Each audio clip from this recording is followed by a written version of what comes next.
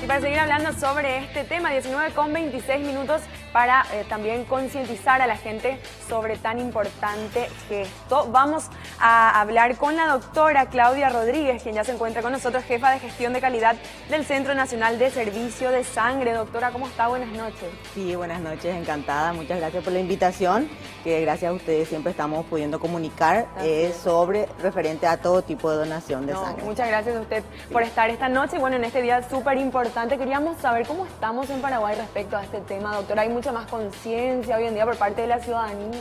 De hecho que sí, avanzamos bastante en lo que es concienciación de la donación voluntaria, como que se va empoderando la ciudadanía de esto, tenemos muchas eh, asociaciones civiles y empresas particulares que están colaborando bastante con nosotros.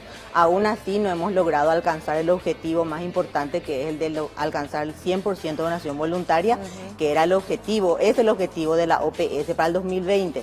Estamos por los 20, 25%, entonces siempre es una lucha constante en relación a lo que es concienciar y eh, acostumbrarnos a la idea de acercarnos a donar. ¿Cómo están trabajando para llegar a ese objetivo, doctora? Usted decía, para concientizar a la gente, a la ciudadanía que done de forma voluntaria. Y de hecho que es un trabajo bastante arduo de promoción. Tenemos promotores en diferentes áreas, públicos y privadas de instituciones tanto del Estado como de industria, estudiantes universitarios. Estamos abarcando un amplio eh, espectro, pero trabajamos mucho a nivel central.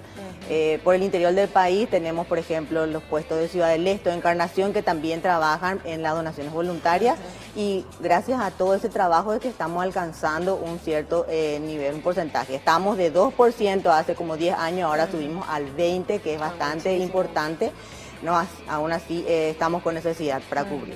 Necesitamos una, 140, una cantidad de 140 mil donaciones año, que sería el 2% de la población, o que el 1%, que sería 60 mil personas, donen dos veces al año.